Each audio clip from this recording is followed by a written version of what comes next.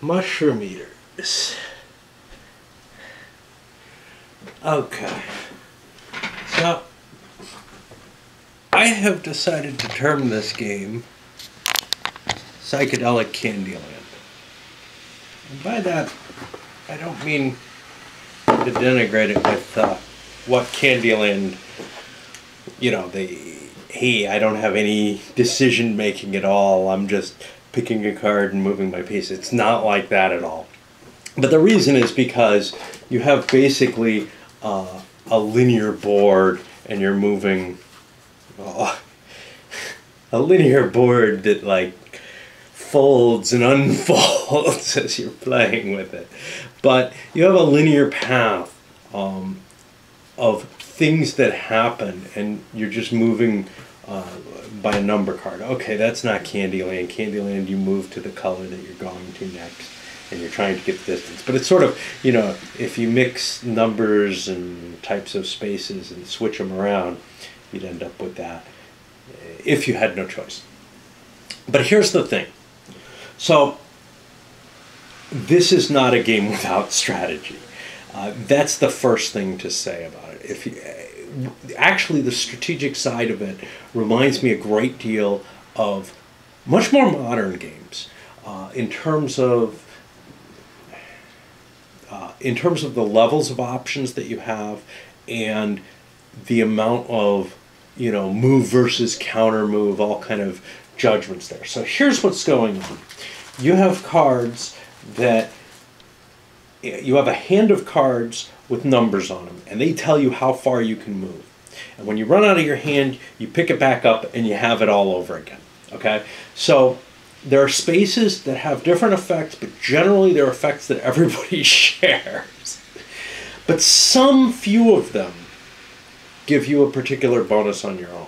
And you have choices on the ones that give you benefits, and some of them that give you penalties, as to, well, many of them that give you penalties, as to what your benefits and penalties are. So you can kind of tailor what you're set up to deal with and be better than other people at it, and then use your number cards to try to get to the spaces that work for you.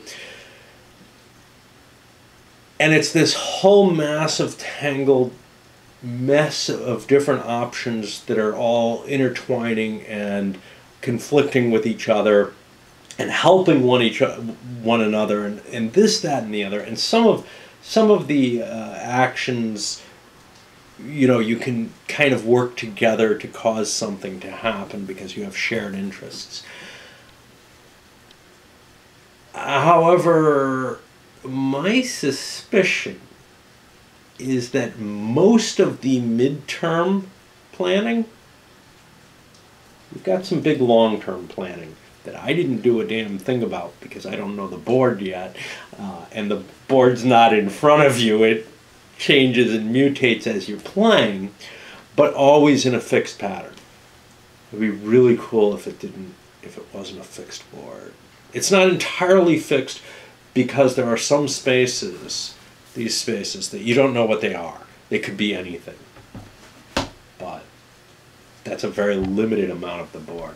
If the whole board kind of mutated and like, wow, that would that that would take this beyond. Uh, uh, that that that would make this so that it would always be sort of the same experience every time you you faced it. It would always be so new to you. This uh, entering into the spirit realm would be completely a different thing each time. But in this case, you in the case of the game as it's designed, you can kind of learn the board.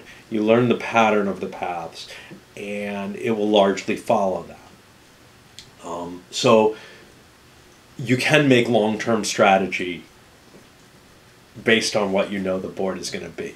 I don't know if that's the best way to play, but that's okay. The midterm strategy, though, where you're trying to figure out, hey, what's that guy going to do next? And if I do this, what happens? I'm not even sure what to relate it to. Um, so there's two options, and I can't figure out which one is which, which one is correct. Of course, I only played it once. One option is this is a really really deep game and you know there's a lot you can do within that kind of mixed uh, spaghetti pile of interactive goals and, and, and desires. Um, and the other is that that pile is just too complex to really pull a thread out that makes sense and that the conflicting desires more or less cancel out and there isn't that much depth that whatever you choose to do your opponent is going to be able to counter it if it's over the midterm.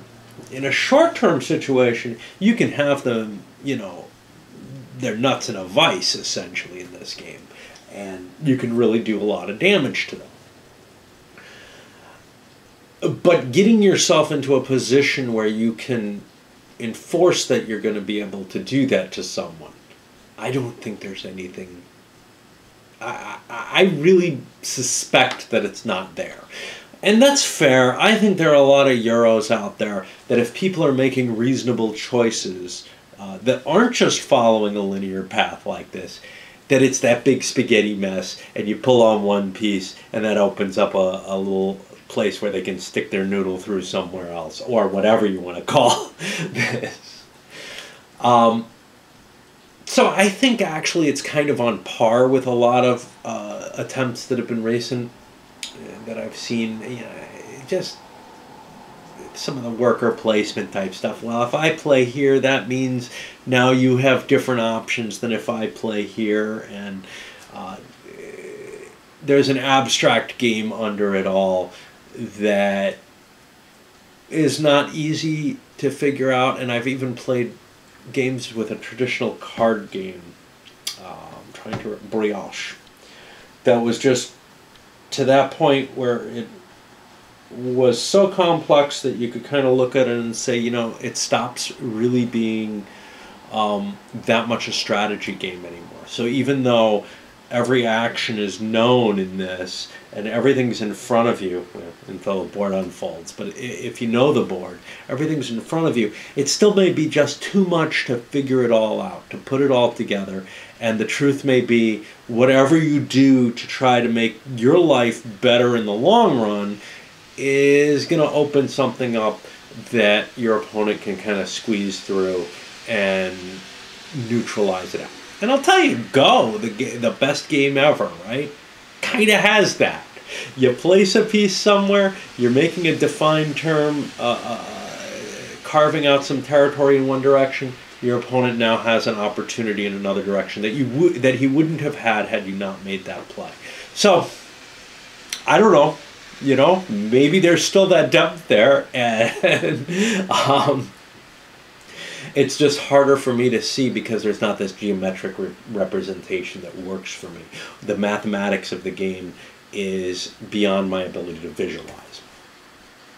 That all said, I don't think that's why anybody plays this game. I don't think that's why anybody falls in love with it. I think what is really, really the driving focus of this game is an experiential um, reflection. And you wouldn't have these otherwise, right? you wouldn't have the artwork that you have. It's to put you in a mood, and the fact that the board folds uh, out and, and changes and morphs as you're playing um, is all kind of leading you to that experience. The artwork really, you know, I don't know how they do it. I really don't. They do these tiny little print runs, but they seem to have such talented uh, and focused on, on a specific uh, mood that the artists pre- present uh, from uh, Blast City. And, you know, the original copy of this was what, 50? 50 issues? And that's another thing that's shocking. The amount of, uh, the type of game that it is, is very odd for 1998, which is, I guess, when it first came out. Anyway, the recent run um, gives you an opportunity to get this kind of. It's still only 500 copies, but to get what is really, you know, was an absolute rarity into into your collection, and that's probably a part of it is the collector aspect, the artistic aspect of it, and the experiential game.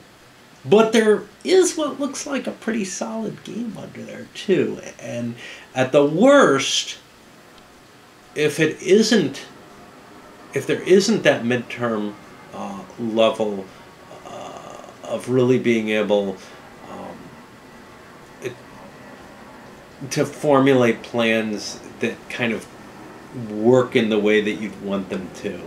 Um, it's going to take you a, a few plays to get to the point where that's not there, and there is there are definitely some long-term strategic choices. For example, simple one: Do you want to go for paradox? There's a big bonus if you win the paradox. Do you want to go for the personal paths? There's a big bonus if you win that fight. If somebody, if nobody's going for them, you might be able to get one of those kind of easily. So there's kind of the, uh, you don't want to go all out on it if no one's going for it. If you, but you might want to go all out on some of the other things, like if you can try to manage wisdom. Although that, I didn't see any opportunities to particularly do any long-term things to make sure you get the maximum wisdom. There are long-term things you can do though to get the face. Uh, those are three points each. That's a big, big pile of points in the game. Um, so yeah, uh, I think there's a game that would appeal to another type of gamer than me.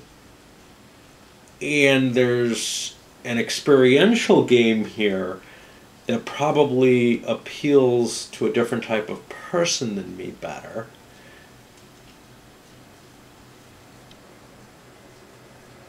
And they mix together, well, you know, I read Michael Barnes's uh, review of it, which tries to make the game seem like it meshes perfectly in, like the, the mathematical game, meshes perfectly in with uh, the artwork and everything else, and just to blow your mind. And I, I have to tell you, the game doesn't. The game does not blow my mind. it leaves me with the it may be too complicated to figure out, or it may not be, and that's a position that I've seen in a number of games. And you know. Uh, you probably don't want it to not be too complicated actually if you're trying to design the perfect game because go is one of those games where there is no you, there's things you can do that you can optimize but generally if you get the the tactical aspect down in go then the strategic thinking is more in terms of recognizing where there's a little bit of room for you. Now in a multiplayer situation that becomes a little bit different. So anyway. Um, it doesn't fit my type of game. And for a game that's going to be that kind of depth, I would prefer to play Go, right? Because it's simpler. I'm not going to get the headache. I'm not going to have to try to figure out the rules. The rules themselves are almost this kind of, uh, without really trying to be, but through a certain, the presentation and maybe my expectations from the game felt almost like the same kind of wading through a, a, a, trip trying to make wading, wading through your dreams trying to make some kind of sense out of it all and make a reality uh, and, and pull something together that didn't really make sense. And then once you start playing it well you find it. But for me maybe the problem there is the rules are actually procedural and I always have trouble with procedural rules, you know. So uh, it tells me, here's this, and here's what you do here, and it doesn't really link it together. But in a sense, there's nothing to link together because this is uh, this journey that like isn't in a realm that you can really. Call concrete in any way, right? It's a dream, uh, essentially. It's a hallucination. And uh, for me, maybe the fact that it's procedural rules and kind of an abstract game kind of throws that all into. I'm just in that receptive mood for that in, a, in an automatic way. I don't know. Um, but there is a certain headache aspect to trying to comprehend the board. The paths sometimes aren't as clear as they might be. Some of the cards are hard to read they get a lot harder if you put these suckers on, at least for me. Um, you can only face the board in one direction, really. It doesn't work from the side, supposedly, but it just kind of glows, is what happens. And, you know, I, I actually don't get much difference no matter what I turn it from. It just sort of glows. There's a little bit of boinging out of the glow if you have it facing the right way. Um, anyway, I think it's really cool that Nate's willing to share these with me and let me take a look at them. Um, uh, this is something that with the right group I could definitely see playing. I doubt that I'm going to do it solo much, but my wife probably is interested in it. She loves the artwork in these games. And that's part of that experiential thing. I mean, it's like it's trying to hit you on so many different levels, right? It's trying to hit you with the artwork, it's trying and, and, and the mood, and I think it succeeds very well there, and I, I think everything that, that I've seen of theirs does. It's trying to hit you with a good game, and in this case, it's of a good kind of Euro type game, even though it's the singular path. Uh, with a lot of similarities to Candyland. Except that the uh, the candy is going to make you feel ill. Um, which can only be better. Uh, yeah.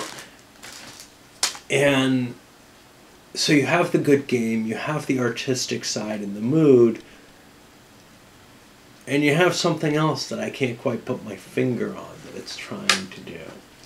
Um, now, Nate says that it really is trying to give some sort of feel for that shamanism. I'm not catching that at all. I'm just not. Uh, I I don't I don't feel like I'm getting anything other than um, the the blur that I don't think I wrote the cards in here that are referring with the earpieces. Um, the blur part I get, and I get the trying to figure out how to get to where I'm going ah theme of it, right? Uh, but I don't feel like, and maybe because I'm strategizing and trying to win this competitive game at the same time, I don't feel like I'm on a path to be a shaman when I'm playing it. Uh, not in the same way, you know, in the same way that I, I, I I don't necessarily feel with most Euros that I'm in the role that I'm playing. I feel like I'm playing a game still.